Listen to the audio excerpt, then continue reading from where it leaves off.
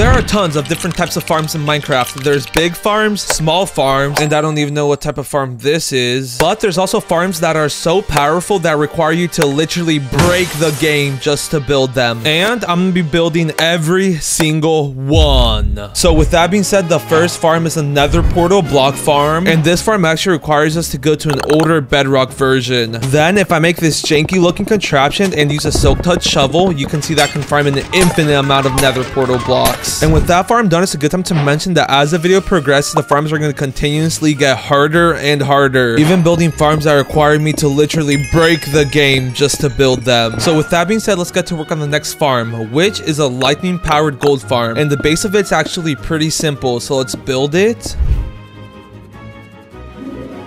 And now that I'm done with that, I just need to get some monster spawners, which you'll see why in a bit. So to get them, we first got to go to beta 1.9 pre-release 4. And now I need a silk touch pickaxe because in this version, you could actually mine spawners. So let's start by getting some basic materials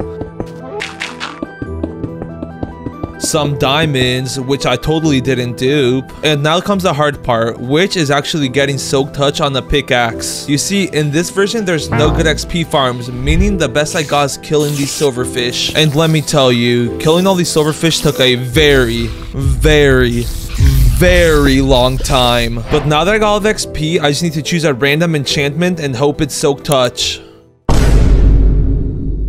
Are you serious right now, bro? Well, I guess it's back to doing this for the next few hours.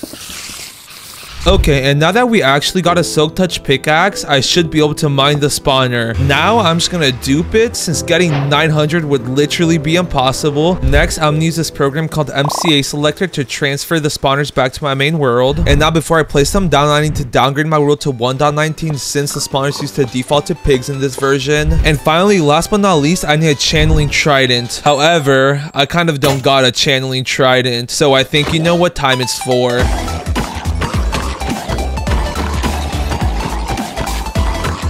Okay, and now that I got the trident, I just need to throw it onto this lightning rod, wait for it to thunderstorm. And the way this farm works is the spawners spawn pigs onto these grass platforms. Then, using the water stream, all the pigs will get sent up into a room where the channeling trident turns them into zombie pigmen and eventually kills them. Then, all the gold ends up storing itself in all these chests. And with that being said, the farm is complete.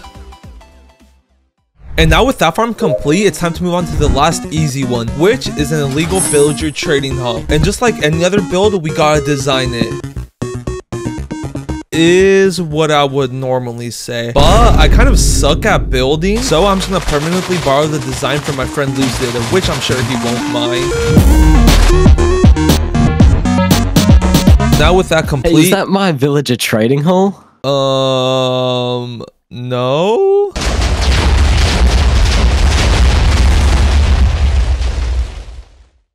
Now, I just need to get the villagers. The first one being a villager that sells the most illegal item in the game. And to get it, we first gotta go to the one block at a time update. And to say this update's a bit weird is an understatement, since as you can see, I have two arms and I can pick up any block. But that's enough dilly-dallying. Let's start getting the villager, which requires me to find a naturally spawning crafting table.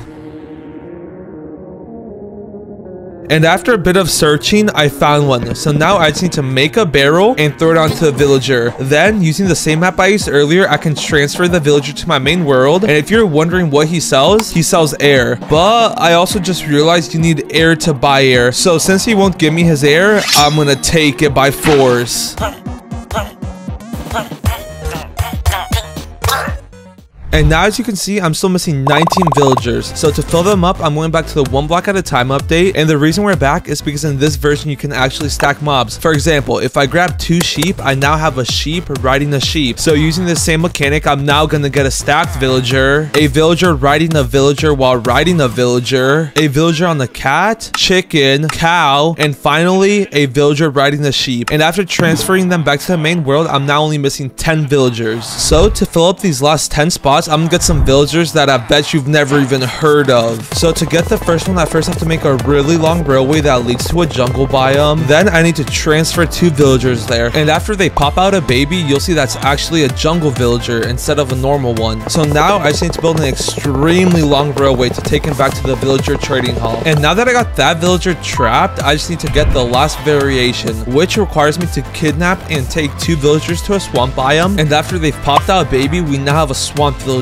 which is impossible to get naturally. Also, I forgot to mention that I got five of each villager. So with that being said, the trading hall is complete. And with the trading hall complete, we can now move on to the medium difficulty farms, which there's actually three of. And the first one actually requires me to go back to Minecraft Bedrock Edition. Also, the farm requires me to have access to an end gateway portal, which means we gotta beat the game. So let's start by getting some basic materials, making a nether portal, getting ender pearls, finding a fortress, getting some blaze rods, finding the stronghold, and finally killing the ender dragon. And now that we beat the game, I just gotta find the end gateway. And before I make the farm, I'm actually gonna get an elytra since I'm not trying to fall into the void and die. So now to make the farm, I just need to make this simple redstone contraption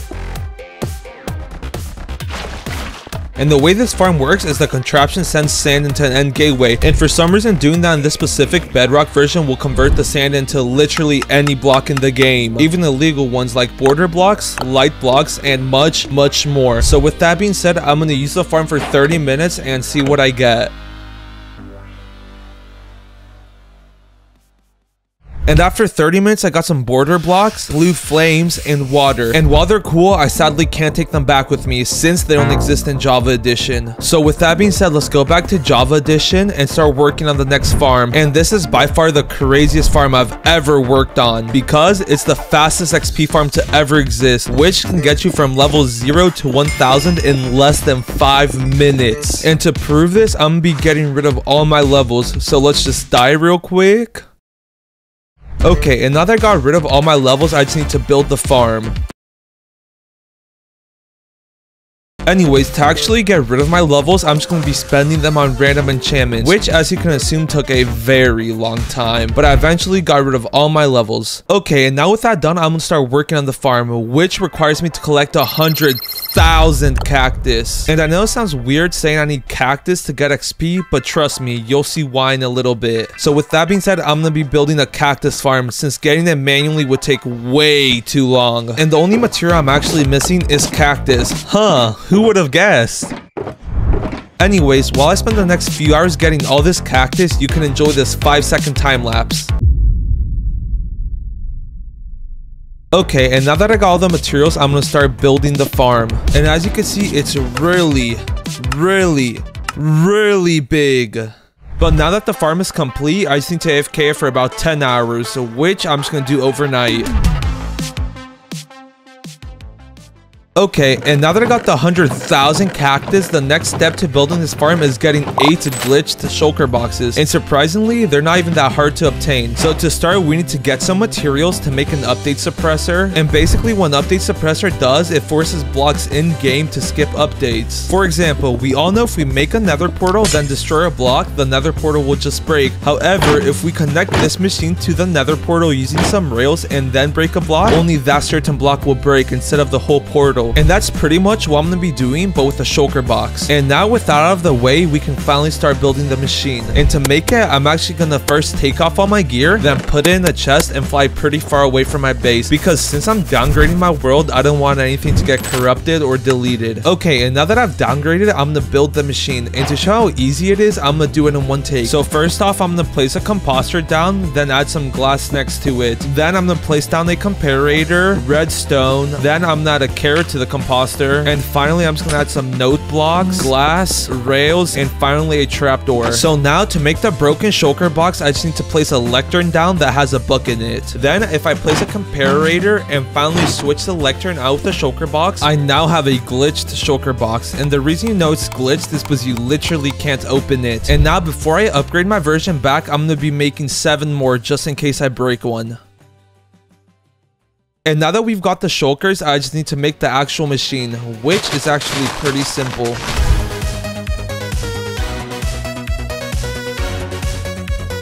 And finally, I just need to load the 100,000 cactus into the machine. And I just realized I forgot to get all the coal needed. And since one coal can only smelt 8 blocks, that means I need 12,500 coal. Well, I guess it's time to start getting it manually. Just kidding, I actually have a wither skeleton farm, which I'm just gonna AFK that for a couple hours. And now with the coal obtained, I just need to AFK the farm for about 35 hours. And while I AFK it, let me tell you a bit more about how the farm actually works. So pretty much every time you smelt an item in the furnace and take the item out, you get a small amount of XP. However, if the item is taken out by a hopper, the XP will get stored in the furnace. And when you break it, all the XP gets let out. And that's pretty much what this farm does, but at a much, much, much bigger scale. And with that being said, I'm just to finish up the AFK session. So I'll see you in 35 hours.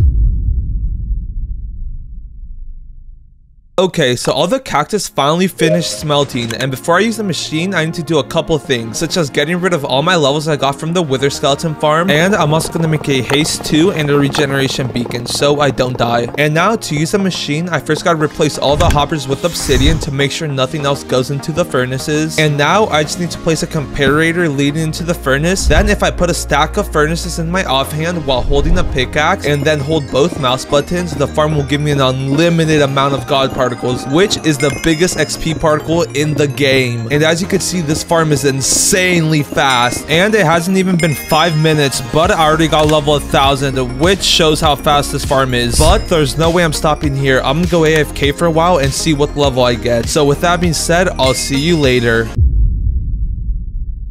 Okay, so I just finished AFK, and as you can see, I got all the way up to level 20,069. Nice. And actually got all the levels relatively fast. But anyways, now that I'm done with that farm, I want to let you know that me and Mr. Beast are in a sub race to 300 million subscribers. And as you can see, I'm just a bit behind. Okay, maybe I'm more than just a bit behind. But if you still want to do me a huge favor, make sure to subscribe. I really appreciate all the support. And with that being said, I think it's time to move on to the... And now the time has arrived. The EOL farm, otherwise known as the End of Light farm, the fastest mob farm to ever exist, producing over 2 million drops an hour, and it's super cool. And that's the farm I'm gonna be building, but that's easier said than done. Because as you can imagine, building a farm this fast is no easy task. So that's why I'm gonna be splitting it into six smaller steps. And the first one requires me to dig a massive 272 by 272 hole. And since mining all that manually would take, hmm, let me think, years, I'm gonna be using flying machines. So let's start by finding a place to put the perimeter. Then I'm gonna be marking the area out. And now, before I can use the flying machines, I just need to clear up all the water. Since as you already know, TNT doesn't work underwater. Finally, I just need to chop down every single tree. Okay, and now with the trees removed, we can finally move on to using the flying machines. And to ensure that this process is as quick as possible, I haven't made one flying machine, not two flying machines, not five flying machines, but 10 flying machines, which will ensure this process is as quick as possible. So now all that's left is to start running the machines. And even though I was using 10 flying machines, doing this was still really tedious, since every time I saw lava or water, I had to go around clearing it up. But several hours later, I had finally finished running the first cycle, meaning I just gotta rebuild all the machines a lot lower and run them a second time. Yay!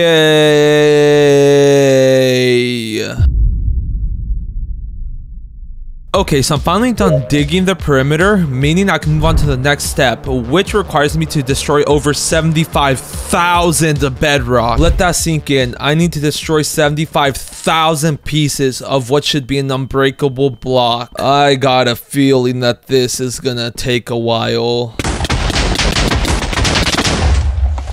Yeah, no. Doing it this way is way too slow. So I'm instead going to be building this massive bedrock breaking machine that can destroy an average of one bedrock per second. However, the downside to it is that for every piece of bedrock I want to destroy, I need one piston. And since last time I made this much pistons, it took over three hours, I'm not going to be doing that again. So I'm instead going to build an auto crafter, but not that auto crafter, this auto crafter. It's so fast, it can craft over three and a half million blocks per hour. And the materials list is actually really small and simple. And with the auto crafter completely built, we could finally move on to getting all the materials needed to make all the pistons. And since each piston requires 9 individual items, that means I'm gonna need 675,000 items, which I can just get from a very long AFK session at all my different farms. Okay, and now that I got all the materials, I just need to put them into the auto crafter. Then I just need to sit here and use this mod called the item scroller, which lets you craft items with keybinds instead of having to click on the recipe. And with that that being said, I'm just gonna finish up crafting all the pistons. And now that I'm done with that, I just need to make the bedrock breaking machines, which as you can see is actually pretty simple. And with the machine built, I just need to AFK it for a few hours. Rebuild the machine one block lower, then rinse and repeat the whole process until we can see the void, void, void. Okay, and now with the bedrock destroyed, we can start working on the collection system. And as you can imagine, this thing is chunky. So that means we gotta get some materials. And luckily, most of them are pretty easy to obtain. Well, except the 836 hoppers, the 329 observers, the 238 comparators, and finally 79 pieces of blue ice. And let's just say, getting all those materials ended up taking a lot longer than it should have. But now that I got all the materials, I just need to line up the portal from the overworld to the nether and the way to do this is I first have to get the coordinates from the center of the EOL farm, then divide them by 8. And the reason we do this is because one block in the overworld is equal to 8 in the nether. And after doing that, we found this location. So let's start by clearing up the area. And now it's time to build the storage system. And as you can see, this thing is massive. But it's not like size always matters.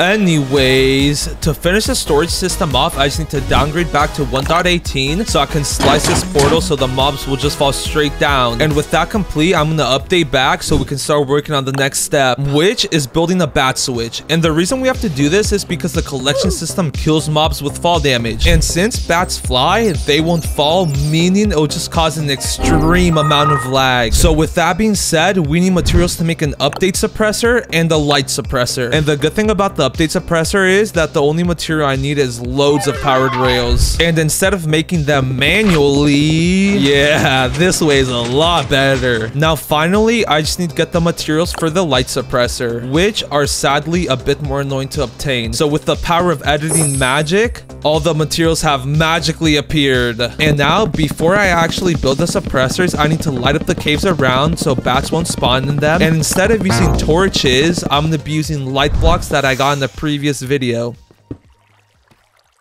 Okay, and now with the cave lit up, I can downgrade my world and start building the bat switch. And the first step to actually making it is making this huge update suppressor because sadly, the small one I was using earlier won't work. Next, I also need to build a light suppressor at the build limit so the portals won't emit any light after splicing them. And now to actually make the bat switch, we first gotta cover the obsidian so there won't be any light. Then I gotta turn on the light suppressor and wait about 5 to 10 minutes. Why you may ask? And to that I say, I got no idea.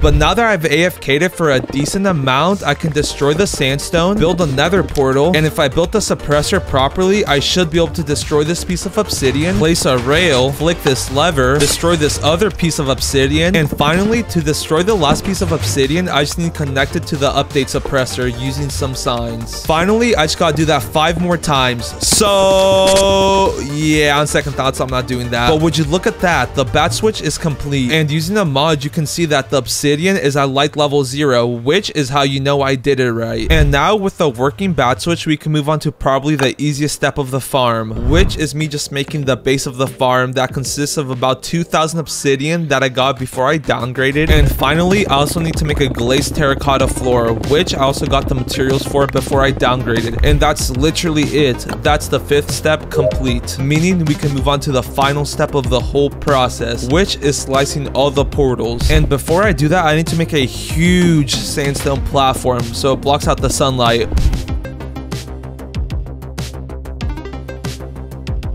Anyways, the next thing I gotta do is make this arm that will connect the update suppressor to the EOL. And now to actually use it, I just need to turn on the update suppressor, extend the obsidian one to the left, and build a nether portal. And now I should be able to splice it.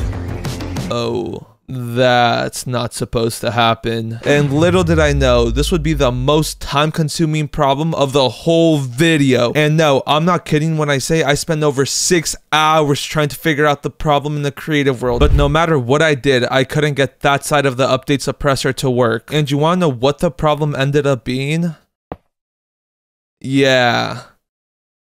Anyways, now that I got all the problems solved, I just need to splice the portals. And I already knew this was going to be a rough ride, because from what I've heard, splicing all the portals takes about 20 hours. But I just put my head down, watched some YouTube, and finished splicing every single portal. Also, there were some spots where placing the glass would just completely break the nether portal, so I just ignored them. But now that I'm done splicing all the portals, I just need to clear up the area around it and now last but not least, I just need to add some glass and turtle eggs around the EOL, which I also got earlier. And that's officially the fastest mob farm to ever exist complete. And as you can see, this farm more than earns the title of the world's fastest mob farm. So with that being said, that's how I built every illegal farm in Minecraft without corrupting my world. Oh.